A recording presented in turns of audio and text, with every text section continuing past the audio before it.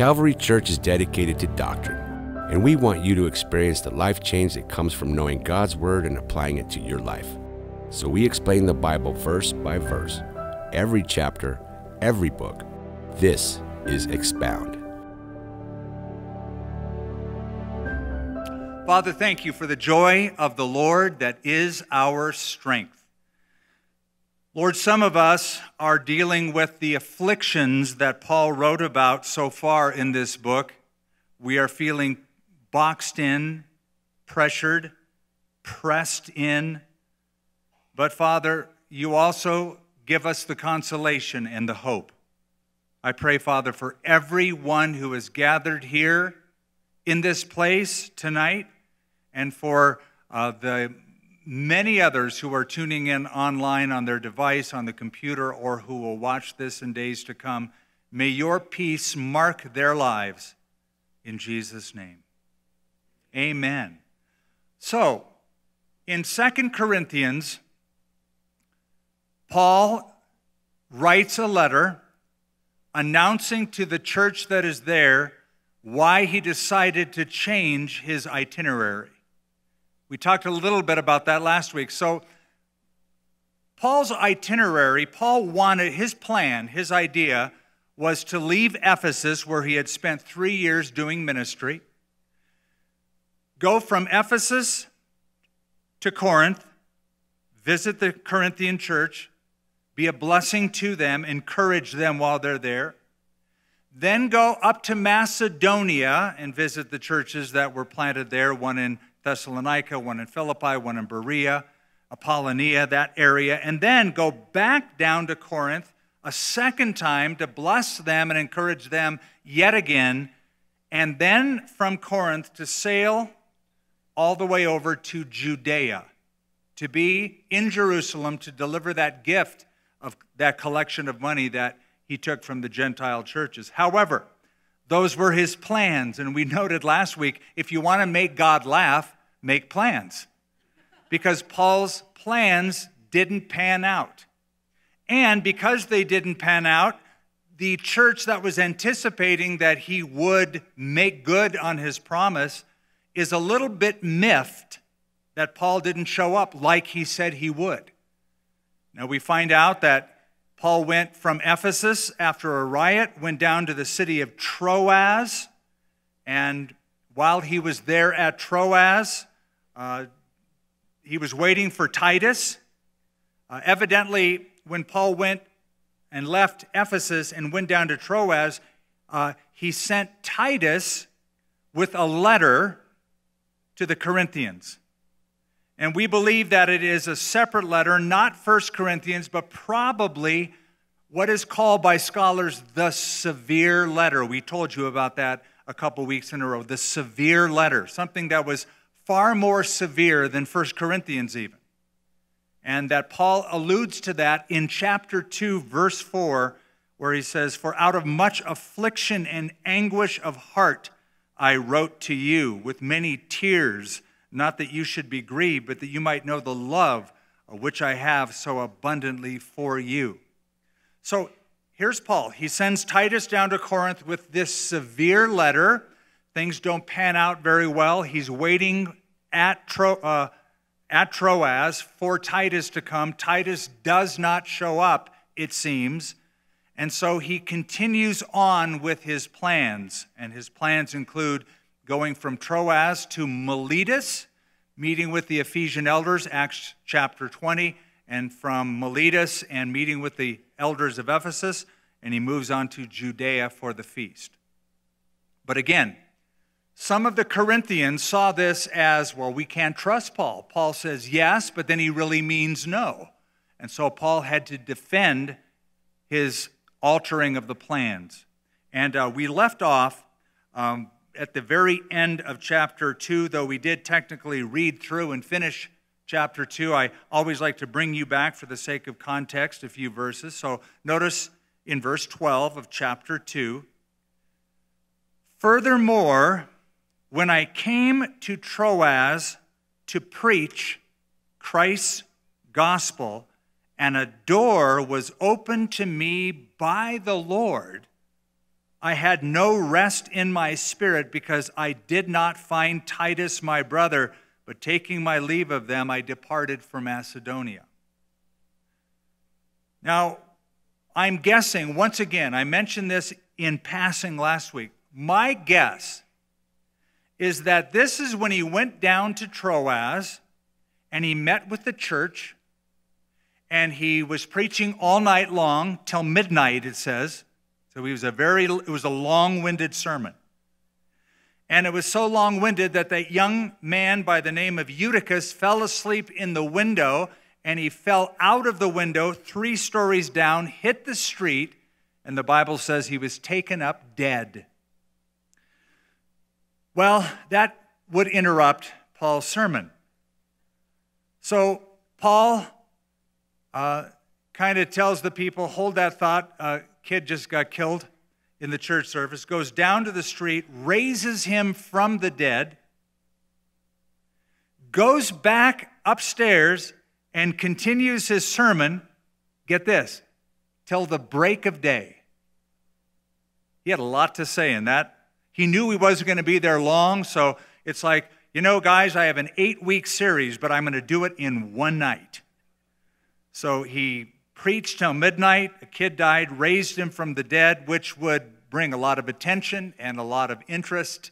And probably that was the door that the Lord opened for Paul uh, this miraculous healing, and perhaps, probably, in that town, a revival. Now, look at verse 14 and kind of pick up that thought. Now, thanks be to God who always leads us in triumph in Christ and through us diffuses the fragrance of his knowledge in every place. For we are to God the fragrance of Christ among those who are being saved and among those who are perishing. To the one, we are the aroma of death to death. To the, to the other, we are the aroma of life to life. And who is sufficient for these things? So, some of the Corinthians were miffed that Paul changed his plans. You can't trust him. He says yes, but he means no. Talks out of both sides of his mouth. If we can't trust this guy who says he's coming, how can we trust what he says? And so, what Paul basically brings it down to is I know I said I was going to be there. The Lord changed my plans while I was on my way, so I did not end up coming to Corinth. But in the end, so what? In the end, who cares? Because God's got this thing covered, and I made my plans, but God revealed his plans, and so I always have to be flexible to God's plans. All of us have to say, if the Lord wills. If that's what God wants, that's what we will do. And that's exactly what James tells us how we should live our lives. You should never say, we're going to do this or that, go to a city, buy, sell, get gain. But always we should say, if the Lord wills, we will do this and that. And Paul lived that way. And so he uses an analogy. He says, God, uh, he always causes us to triumph in Christ and diffuses the fragrance of his knowledge in every place. Scholars will point out that Paul is referencing a ceremony that would take place in Rome called the Roman Triumph or the Roman Triumphal Procession. That is, uh, a general would be celebrated if the general had a victory over his enemies. And he would be celebrated by a, a triumphal procession in Rome. That's the language that he uses. So, so get this picture. If you were a Roman commander, field commander, commander in chief, and you fought a battle, you won the battle. It wasn't just that you were quelling a riot, but you actually started a battle that you won, and the troops were now back home in Rome if you had killed in that battle 5,000, at least 5,000 enemy combatants, and as a result of the battle, expanded Roman territory. So you took that area over for Rome after killing 5,000 soldiers. You expand the territory. Then, when you get home, they would throw a huge party called a Roman triumph for you. The Roman triumph was a procession through the main corridor of town, the Roman Forum, and it would end at the Circus Maximus, this huge competitive sports facility. Now, in the Roman triumph, it would start out with some of the senators from the Roman Senate sort of marching at first. Then they would be flanked by Roman priests who would burn incense to give this sweet fragrance throughout the city. There would then be trumpeters who would make announcements.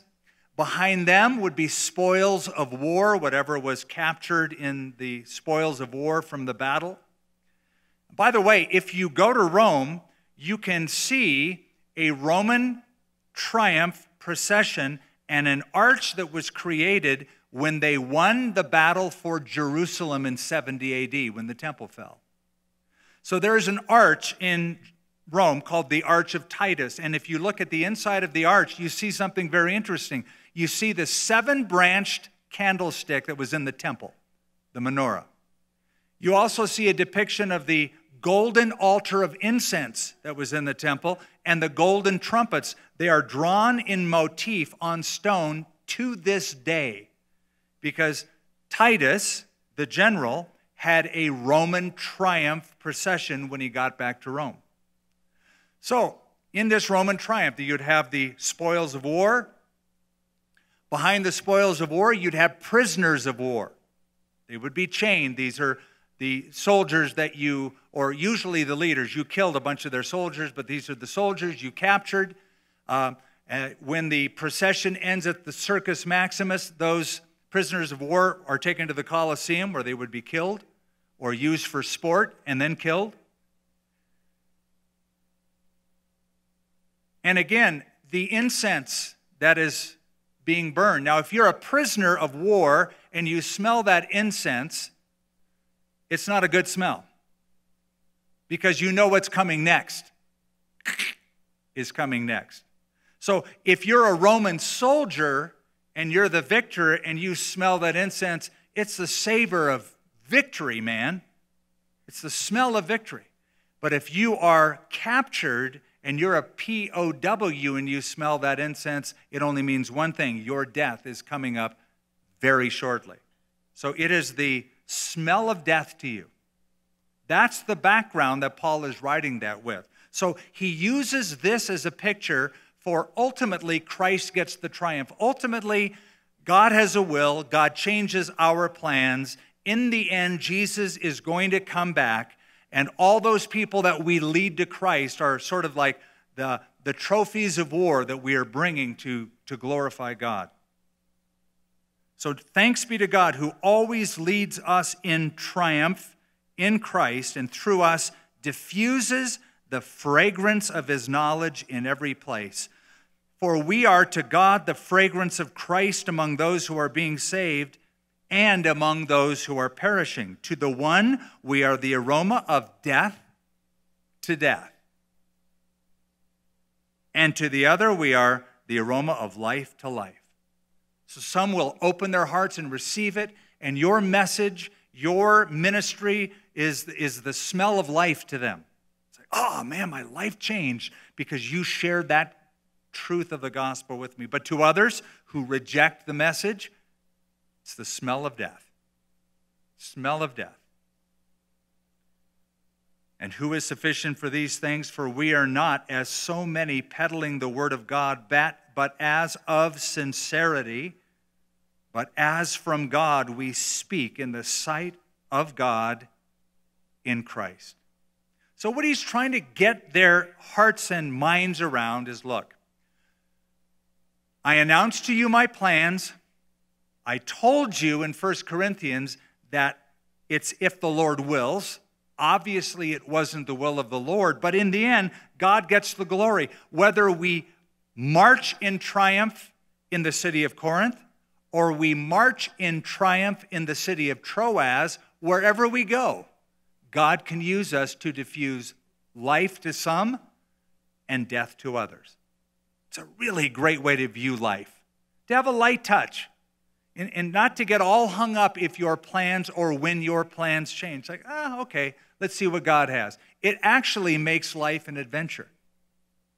Now, for some of you, it's more difficult. For others of us, it's exciting. When plans change, like, ooh, let's see what God has in store. For, for others, they just hate it when all the little details aren't exactly as they planned. Drives them nuts. They love control.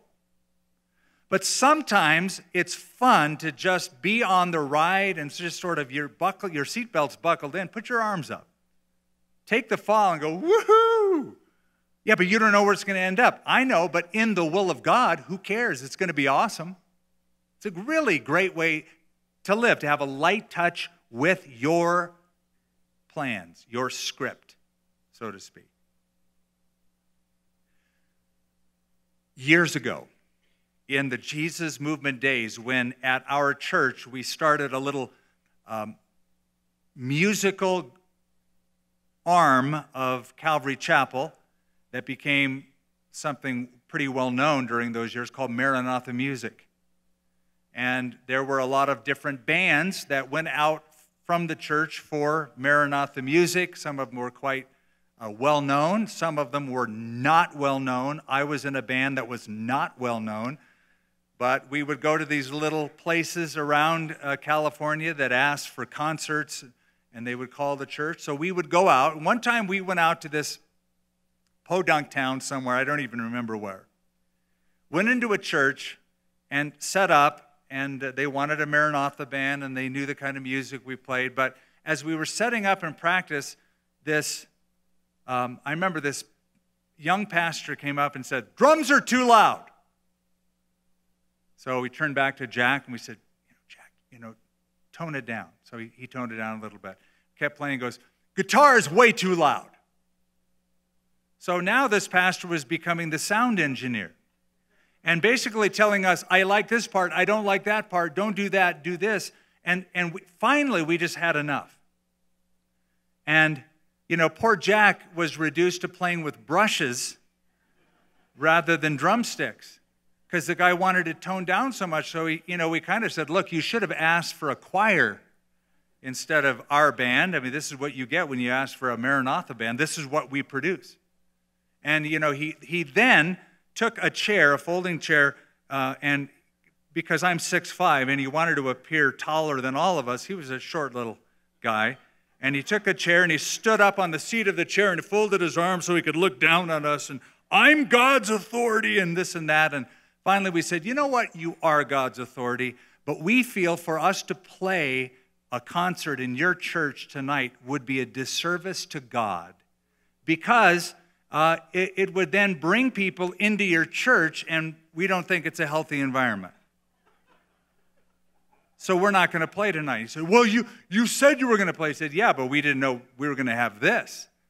So uh, we decided to pack up, and we went down to a local park, plugged in. They let us use the electricity, just played for free out in the uh, Green Park, and just drew a crowd and shared the gospel and brought people into the kingdom. And we thought, okay, we didn't know it, but maybe that's what the Lord had in store for us. You know, let's just be flexible. And so Paul is trying to teach the Corinthians that. You know, you, you, we, you may have to unplug every now and then and just go play in the park. And uh, so, but at the end, it's always a triumph parade. Uh, when you bring souls into the kingdom, whether they are in Troas or in Ephesus or in Miletus or in Macedonia or in Corinth. And, and now he is, huh, now he is edging in verse 17 he's edging into an area that sounds more like 1 Corinthians than 2 Corinthians. Remember, I said 2 Corinthians was far more personal a letter? Uh, 1 Corinthians was more of a polemic. It was more of a let me fix the problems. There are so many problems in this church.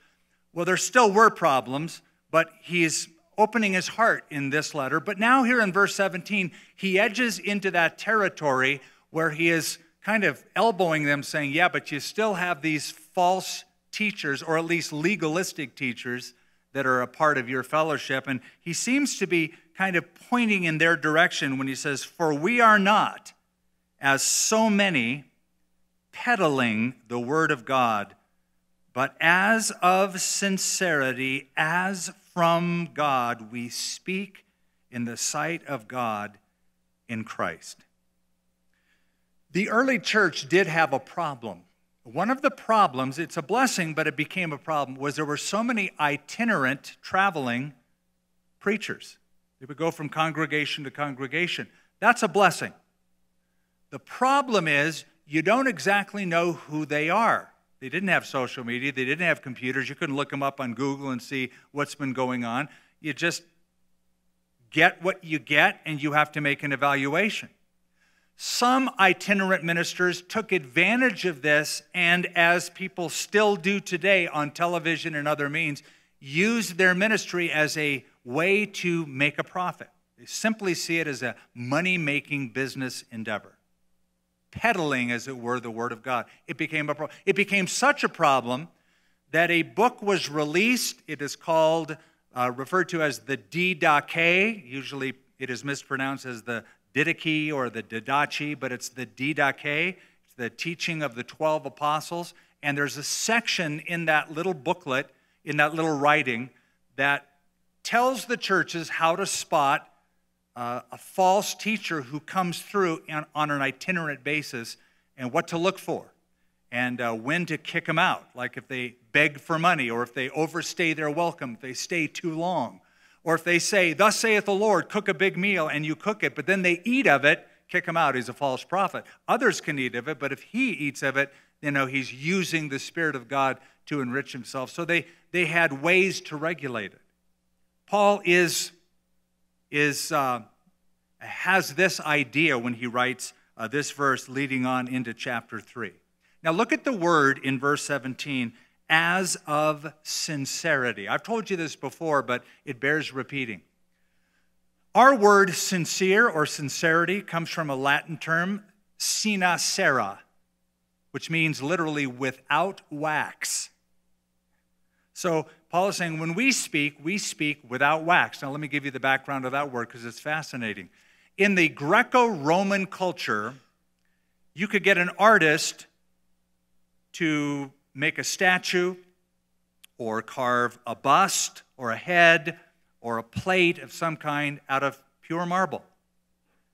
And so a patron would pay for the money, the artist would make according to the specification. But let's say the artist has sculpted this magnificent statue of this man's wife, and he plans to give it to her on her birthday in their opulent backyard in Athens.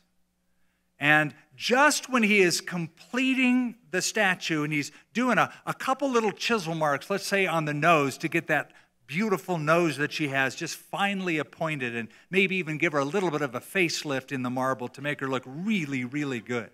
Let's say he's almost done, but the chisel slips or there is a weakness in the stone and the nose pops off. Now, months have been invested in that rock. Hours have been spent in making it just right. And now at the end, when it's ready to be presented, that flaw in the stone or that slip of the chisel and hammer, maybe a little bit too much pressure, has cracked off an ear or a nose or a finger. So they could, one, start all over again, more time, more expense, more cost to the artist, or the artist could cleverly disguise his mistake by taking dust, marble dust, embedding it in a wax substance, and making a new nose and just putting it on so you couldn't tell the difference. But if her birthday was in July, and it's 12 noon and going on to 1 o'clock, and that statue is in the backyard in the hot sun, and all of a sudden you know, she's looking at it and saying, Oh, I look so horrible. Because now that nose is starting to melt down the face and it's a, obviously a, a problem. So it became such an issue that artists would stand behind their work by saying it is sine cera. is without wax. There are no substitutes here. I didn't fill in a crack or put a fake nose on. And Paul's saying that's what we are. We're not, we're not, this is not just a show.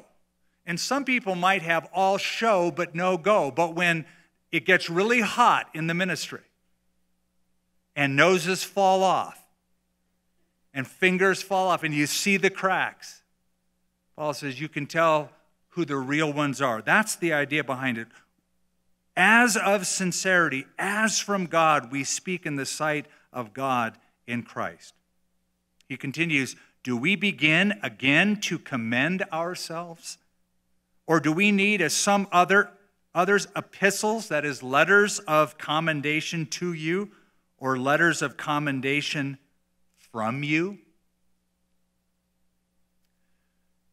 Some of the Jews in Judea, in Jerusalem, would carry with them letters, parchments. Basically, a letter of recommendation of some important Jewish source so that when they went from synagogue to synagogue, or in this case from church to church, they could pull out the letter that would introduce them and hear some muckety muck, some important person is saying, I endorse this person, I stand behind this person, you can trust this person.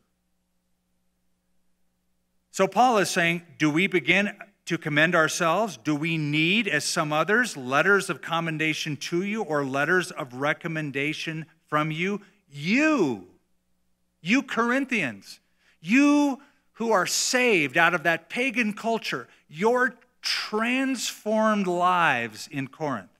You are our letter, written in our hearts, known and read by all men. You know, some people are like thermometers. They measure their importance by degrees. Oh, I have this degree and this theological degree, and I have the, the PhD degree and the Doctor of Ministry degree and the Doctor of Divinity degree. Cool, great. But Paul says, you know where the proof of our ministry is? You. I can say, well, here's my degree. I graduated from this university. Or instead of measuring my importance by the degrees, the papers, the letters that I have, Paul says, I am measuring my importance by the fruit in your lives. There's a church in pagan Corinth. Your lives have been radically transformed. That's all the letter I need. People can see your life and read your life, known and read. I love this by all men. And so are you. You are known and read by people in your family, people you work with, people in your neighborhood. Remember that little poem? You are writing a gospel, a chapter each day by the things that you do and by the words that you say. People hear what you say and watch what you do. So, what is the gospel according to you?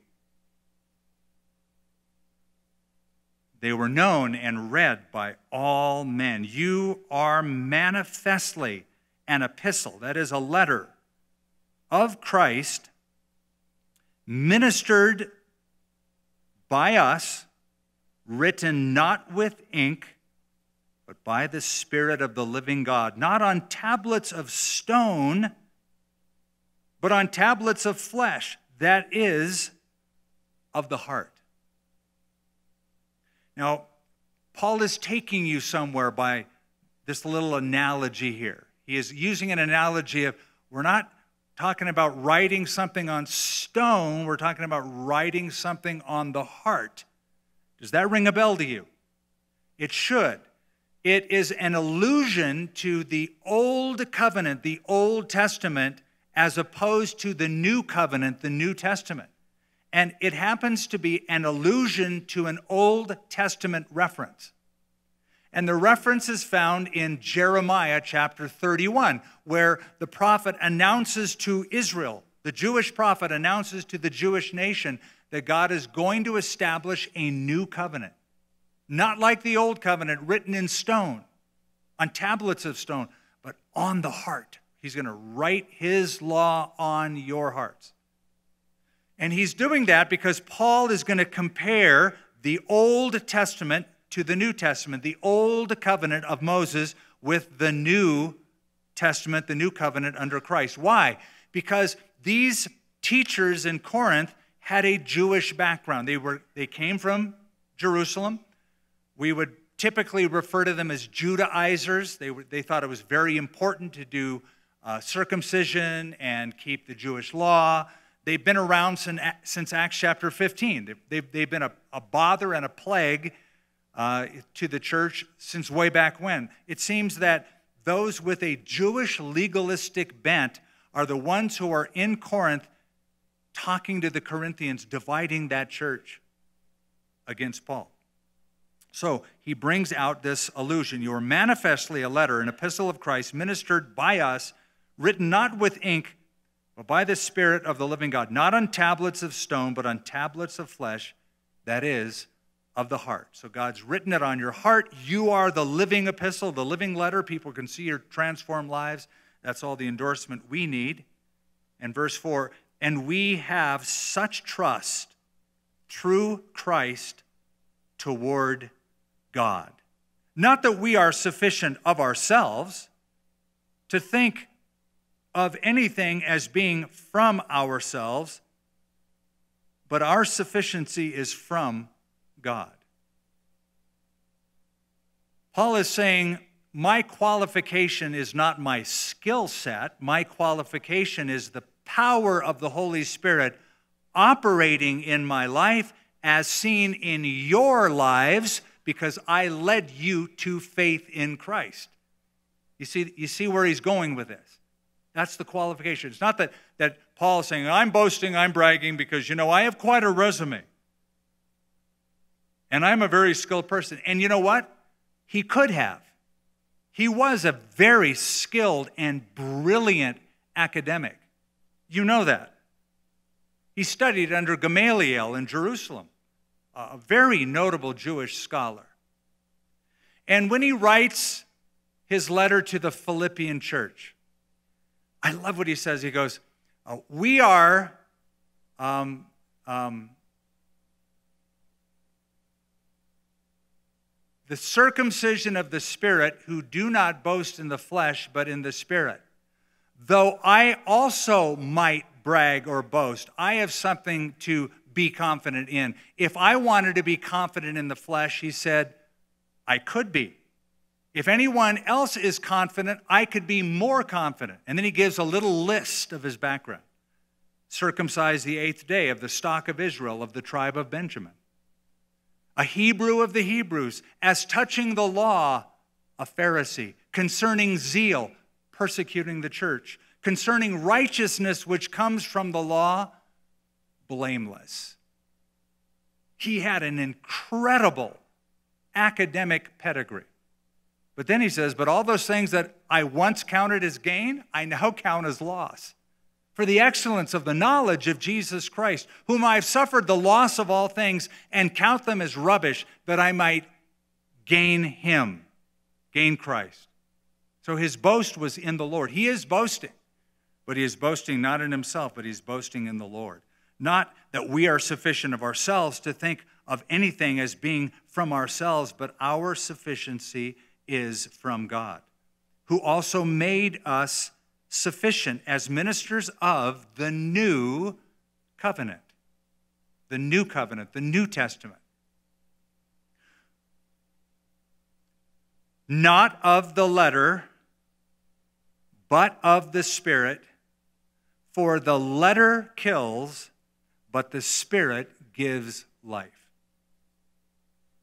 Stop there for a moment and look at that once again. Not the letter, but the spirit. That verse has been butchered and misquoted by groups for years with this interpretation.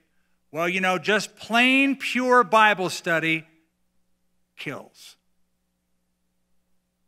You need the Spirit. You need the free flow exercise of the Spirit. And, and people try to set up this false dichotomy between studying the Scripture, which they say is the letter of the law, and that produces death, that just kills, and the free flowing worship, do whatever you feel in the moment in the Spirit, that gives life. That borders on blasphemy.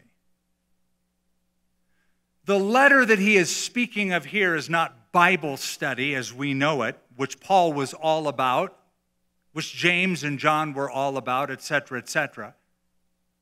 But it was the letter of the law in the Old Testament.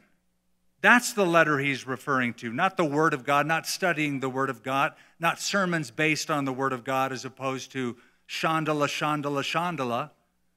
Uh, whatever you feel led to say or speak or flow in the Spirit. It was the letter of the law which kills. Paul said in Romans, the commandment which I thought would bring me life has actually brought me death. What is he referring to? The Old Testament law. So John uses same analogy in uh, the Gospel of John. For the law came by Moses, but grace and truth came through Jesus Christ. You see the difference? That's the di- same difference that Paul is alluding to here. The letter kills, but the Spirit gives life. But if the ministry of death, notice what he calls the Old Testament the ministry of death. Why? Again, Romans 7. The commandment which I thought would bring me life actually brought me death. I'll show you why in a moment. If the ministry of death written and engraved on stones. Remember, God by himself, by his finger, wrote the Ten Commandments on stone. Moses brought them down the hill. If the ministry of death written and engraved on stones was glorious, and it was, so that the children of Israel could not look steadily on the face of Moses because of the glory of his countenance, which glory was passing away how will the ministry of the Spirit not be more glorious? Now, let me take you back. You don't have to turn there, but just take back in your memory to Exodus chapter 34. Moses is up on the mountain, this glorious, awe, awesome, striking movement of God was happening. Uh, the mountain looked like it was on fire. It was smoking. There was thunder. There was lightning. The children of Israel didn't want to go close. Moses was up there communing with God. God gives him the law. He writes it himself uh, in, the, in the tablets. And Moses comes down the mountain. When Moses comes down the mountain and they look at him, and Moses was unaware of this, his, Moses' face was glowing. And Aaron saw it, and the children of Israel, it says they were afraid to get, get close to Moses because it's like the, the dude's like on fire. He's like, he's like glowing in the dark. A man is glowing. And so they were afraid. So Moses put a veil over his face. Presumably, he put the veil over his face so they wouldn't feel afraid to approach him. And then it says that he took the veil off when he went into the tent of the meeting and communed with the Lord face to face as a man speaks to his friend, then put the veil on and came out. But we're about to learn something that we didn't necessarily know from reading Exodus chapter 34. What we learn here is that the glow on Moses' face, which was miraculous, it wasn't long lasting, it was fading away. It got less and less as the hours and days moved on. And that Moses actually covered his face because of that fact, because it was fading away. Now, why is that important? Because Paul is making a point, like Moses' face, that was a temporary glow and soon to fade away.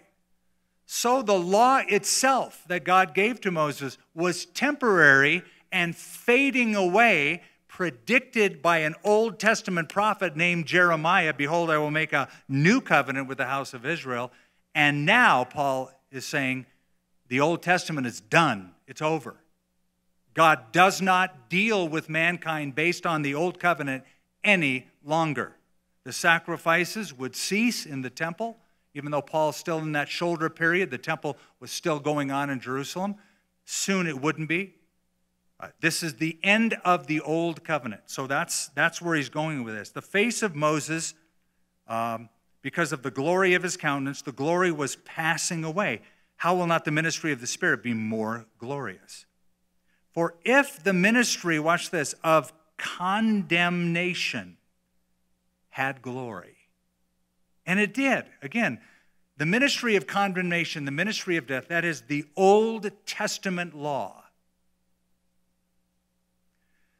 Now, hold that thought. Why is it called ministry of condemnation? Because that's all it could do. It could only give you the standard that God demanded Thou shalt do this, thou shalt not do this, thou shalt not do that. But it didn't give you any power to keep that standard. The children of Israel said to Moses, uh, Go find out what God wants and tell us. We'll do everything He tells us to do. God's reply is, Oh, that my people had such a heart within them. Even God realized it's impossible to keep the demands of the law. I appreciate their sentiment.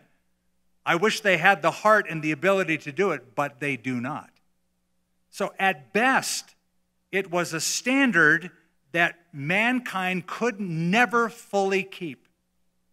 So, it was the ministry of condemnation, it was the ministry that brought death.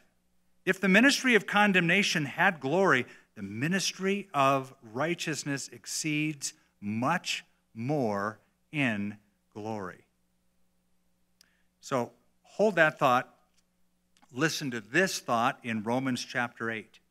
Listen to this, It's familiar territory. There is therefore now no condemnation to those who are in Christ Jesus, who do not walk according to the flesh, but according to the Spirit. For the law of the Spirit of life in Christ Jesus has made me free from the law of sin and death. For what the law, that is the law of Moses, could not do, in that it was weak through the flesh, God did by sending his own Son in the likeness of sinful flesh. On account of sin, he condemned sin in the flesh that the righteous requirements of the law might be fulfilled in us who do not walk according to the flesh, but according to the Spirit. So, the Old Testament could not save, the law could not save. Listen, the law the Old Testament pointed out wretchedness because it says, You shall not covet. That is, if in your mind you say, Man, I want a better wife. Man, I want a better house. Man, I want a better this. I want that. And you, that's a, that's a sin. You're, you're in your heart lusting after something. That, that's part of the Ten Commandments. So the Old Testament pointed out wretchedness but the new covenant produces righteousness. Huge difference. One only points out the flaws, the other produces righteousness. The Old Testament does not. The law is like a mirror. When you look in the mirror, you, according to James, you look full face in the mirror and you see your natural self. Usually, I could almost guarantee it, when you wake up in the morning and look in the mirror, you decide you need to make some changes to what you see there in the mirror. Am I right? A comb, a brush, makeup, it could be anything. You are going to alter what you see because the mirror conveys your true condition, but it lacks the power to change your condition. You can't say, Mirror, mirror on the wall, fix me up and I'll be tall, or whatever. You, you couldn't do that. The mirror reveals the condition, it does not fix the condition. A level's the same way, or a plumb line before a level was introduced in architecture. It could tell you if the building was off or on plane, off kilt.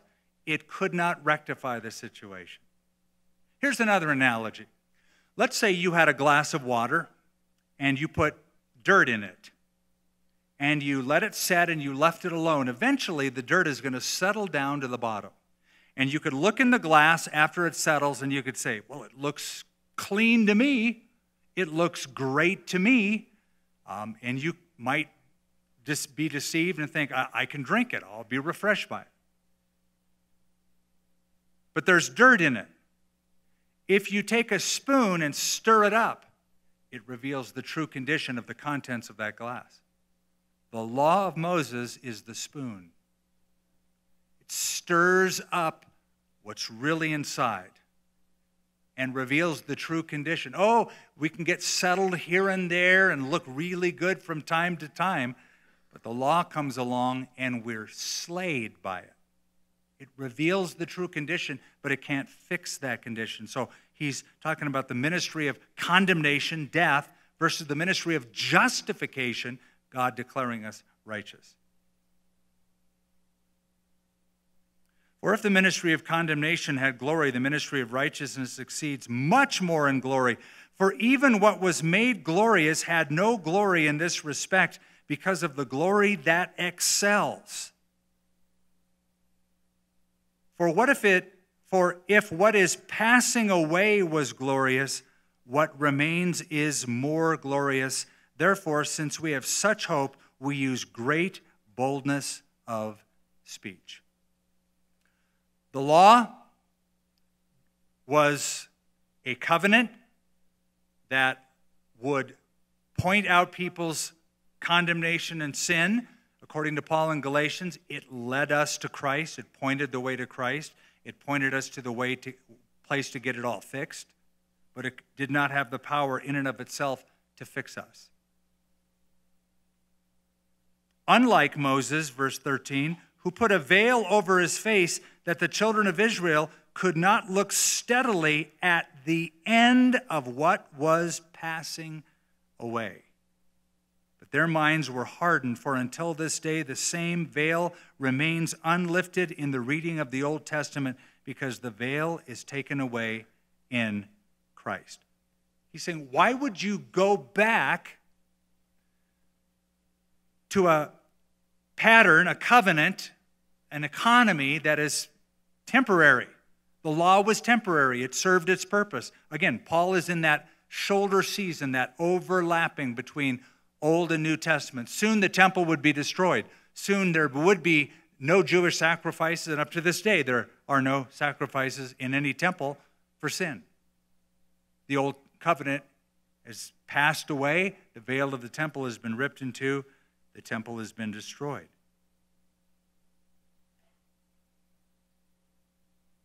But their minds were hardened.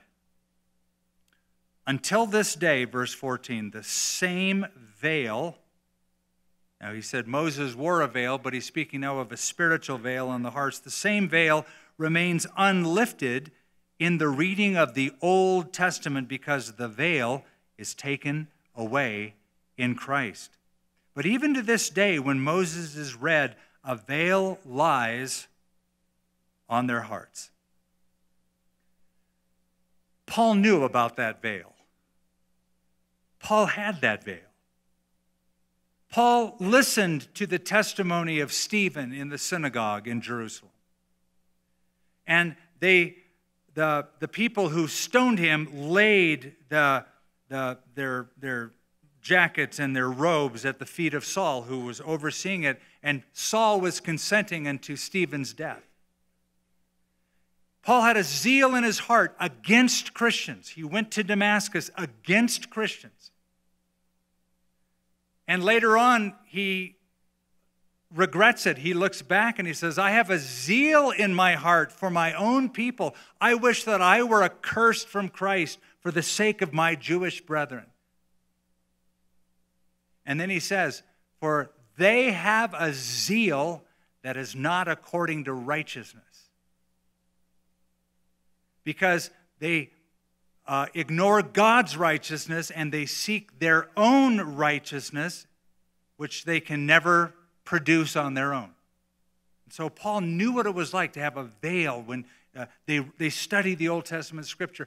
To this day, I marvel. I go to Jerusalem a lot. I've been there 41 times. When I go to the Western Wall and I see the ardent worship and prayers, and they move and they sway and they see, they're they seem so sincere, but they're blinded. They have a zeal for God, but not according to knowledge. And it's heartbreaking because you see the religious fervor that they have and they mean it. But Paul says there's a veil. When they read the Old Testament, um, they read Isaiah 53, Psalm 22, that, that plainly foretells uh, the, the coming of Christ and the suffering of Christ. But to this day, when Moses is read, a veil lies on their heart. Nevertheless, when one turns to the Lord, the veil is taken away. And that's exactly what happens. Ask any Jewish convert. This is how I used to interpret it. This is now my eyes have been opened. This is how I see it. It's so plain to me, it's so obvious. And one day, the Bible predicts all Israel will be saved. When the nations come against Jerusalem in the last days, in that area known as Har Megidon, Armageddon, and God miraculously preserves the Jewish nation. Although some will be affected, many, the ones who remain, will look upon him whom they have pierced. They will mourn for him as one mourns for his own son, and they, they will turn to the Lord. And Paul predicts Israel will be saved. But nevertheless, when one turns to the Lord, the veil is taken away. Now, the Lord is the Spirit, and where the Spirit of the Lord is, there is liberty. The veil is taken away in Christ. Why is the veil taken away in Christ? Because the Old Testament scripture that they are blind to speak of Christ. Remember what Jesus said to the religious leaders? You search the scriptures because in them you think that you have eternal life, but these are they which testify of me. You're reading the Bible, you're studying the nuance, and you think that, that doing that will give you life. But you ignore the fact that these scriptures speak all of me the typologies in the law, in the sacrifices, the tabernacle, the temple, the prophets, all speak of me. And when Jesus rose from the dead on the road to Emmaus, he met with two disciples, and it says, beginning at Moses and all the prophets, he expounded to them all things in the law, in the Psalms, and the prophets that speak of him. Because he said, Foolish ones and slow of heart to believe in all that the prophets have spoken, ought not the Christ to have suffered and enter into his glory? Beginning at Moses and all the prophets, he expounded to them in all the scriptures the things concerning himself. Why? Because they all speak of him. And when you put Christ in the middle of that enigmatic Old Testament passage, it makes sense. It's cleared up. The veil is taken away in Christ. And the Lord is Spirit. Where the Spirit of the Lord is, there is liberty. But we all, we all, with unveiled face, remember the veil is taken away in Christ, with unveiled face, beholding as in a mirror the glory of the Lord, are being transformed into the same image from glory to glory, just as by Spirit of God. Now, the word that he uses here for transformed in the last verse of chapter 3 is the word metamorphosis that speaks of the larva being changed into a pupa, being changed into a fully mature butterfly. It's a beautiful description of the Christian. The Christian is a caterpillar becoming a butterfly transformed. We are instantly transformed in our relationship to God the moment we give our lives to Christ, and then we are continually being transformed the more and more and more we gaze upon the Lord in the Scripture, in the Word of God. There's a great story by Nathaniel Hawthorne you probably recognize, The Old Man in the Mountain the old face in the mountain. And it's a story about a little village high up in altitude, just underneath a mountain. And on the mountain, uh, carved into the mountain, or seemingly carved, was the face of a, of a man looking down, kind of solemnly, sternly looking down at the people in the village. Well, there was a legend attached to that, according to this story of Hawthorne. that one day somebody would come who looks like the face in the mountain. And he would come to that village and bring great blessing and make transformative changes to that village.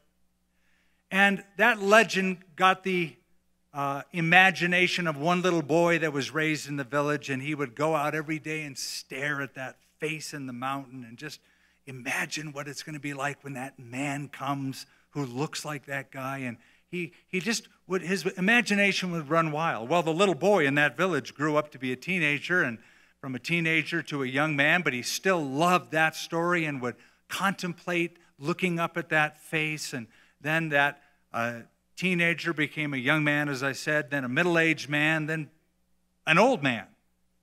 But he still loved that story, loved that idea. But one day, he was walking through the village. And somebody said to him, Hey, you're the guy that we've been waiting for.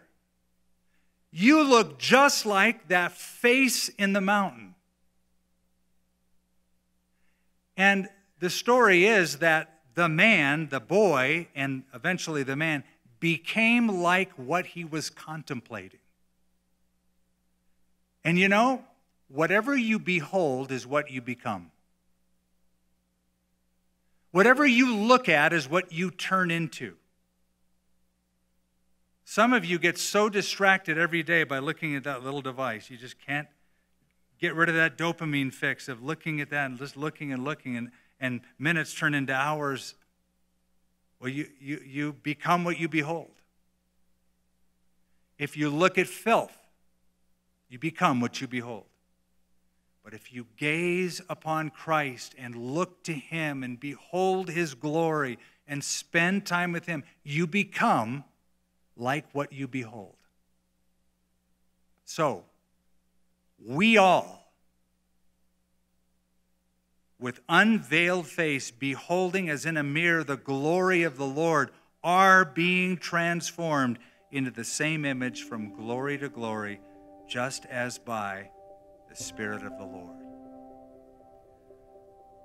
The law can only point you to Christ.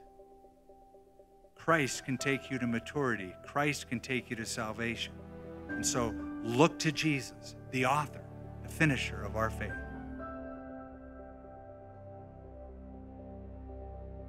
For more resources from Calvary Church in Skip Heitzig, visit calvarynm.church.